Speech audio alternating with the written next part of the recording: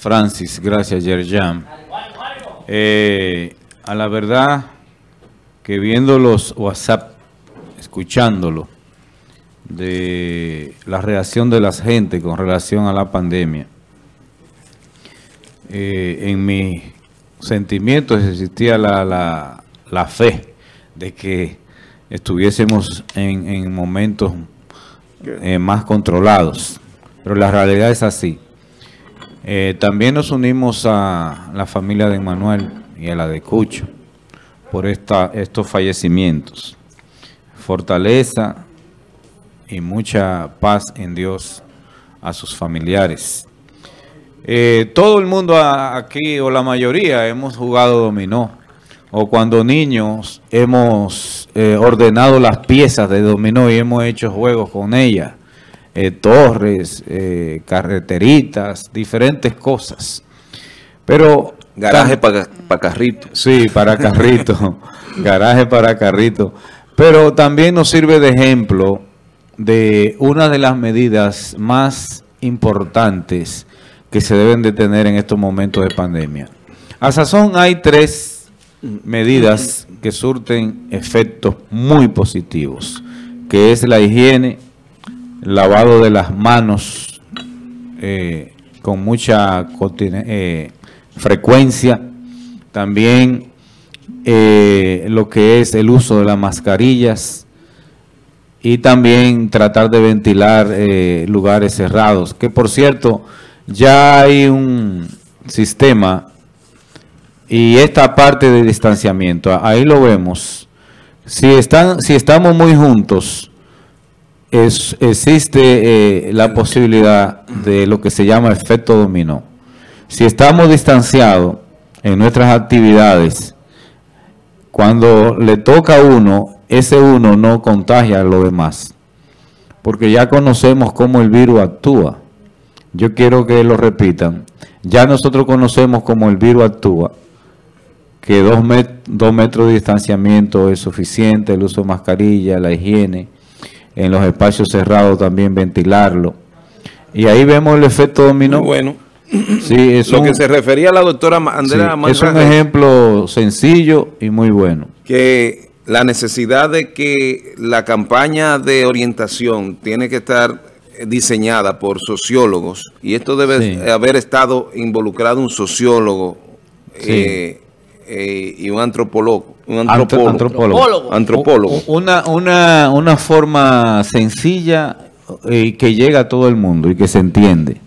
Si usted une las piezas dominó, que no creo que haya un ser humano que no haya jugado con el dominó, y la pone en, forma, en secuencia, la primera que cae toca la segunda e inmediatamente pues va a tocar a todas las que están. Incluso se hacen juegos en rondas y diferentes, se, arma con diferentes eh, eh, resultados. Y si está a distanciamiento, la primera cae, se, infecta en este caso eh, y las demás no son alcanzadas. Y ahí está también la importancia del uso de la mascarilla. Es para cuidarse usted, pero también es para cuidar la otra persona es para cuidar a su familia, para cuidar su entorno. Y es sumamente eficiente. Ya los estudios así lo han dicho, que usando las mascarillas, guardando el distanciamiento y siendo higiénico en el lavado de las manos con frecuencia, nosotros vamos a tener un control eficiente de esta pandemia cuidarse usted y ser respetuoso también cuidando a los demás. El otro caso que yo quiero presentarle es que este año nos entró a nosotros con mucho calor. Y eso está evidenciado en el proceso del calentamiento global. En el proceso de calentamiento global, las temperaturas que se están registrando ahora están por encima del promedio de las temperaturas que eh, hemos alcanzado desde que se tiene registro de temperatura de la era preindustrial. Y ya los científicos están hablando que en cinco años se puede llegar a la barrera del 1.5 grados por encima a la temperatura eh, promedio mundial, que es de 14 eh, grados, 14.5 grados. Entonces, Se refiere a la, a la temperatura del planeta. Del planeta, del planeta. ¿Qué sucede? Que con esta alteración de 1.5 grados, y hablar los científicos que en 5 años se podría lograr es algo escalofriante. Porque con esta modificación hay un efecto dominó, también como, como lo que vimos ahí, que una pieza toca otra y toca otra y toca otra y toca otra y se lleva toda una ciudad. Eh, eh, este efecto dominó eh, es preocupante, porque al aumentar 1.5 grados ya estamos en la frontera total de empezar a causar efecto dominó. Si se derriten, por ejemplo, los permafrost de las vastas extensiones de Siberia, esto traería como consecuencia mucho dióxido de carbono atrapado que iría a la atmósfera y también muchos microorganismos biológicos que entrarían en contacto con la humanidad que no lo conoce, que no estamos acostumbrados a ellos. Traería alteraciones directamente también en todo lo que es la biota, todo lo que es vida.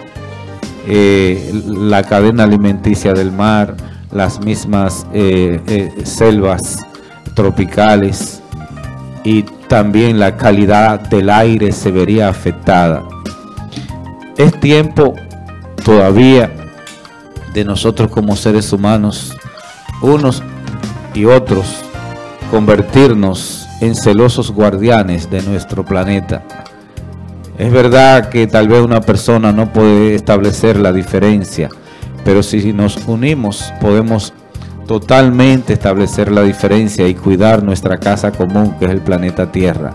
Es peligroso a la frontera que estamos llegando con esto de las temperaturas y el calentamiento global y nos atañe a todo aportar nuestro granito de arena para contrarrestar estos efectos que podrían ser eh, muy dañino para toda la humanidad. Muchas gracias. Gracias Fulvio por tu comentario y orientaciones. Definitivamente es así con el tema de la infectación. Podría darse un sistema prácticamente, un efecto dominó. Sí. Así es, el número que termina en 30...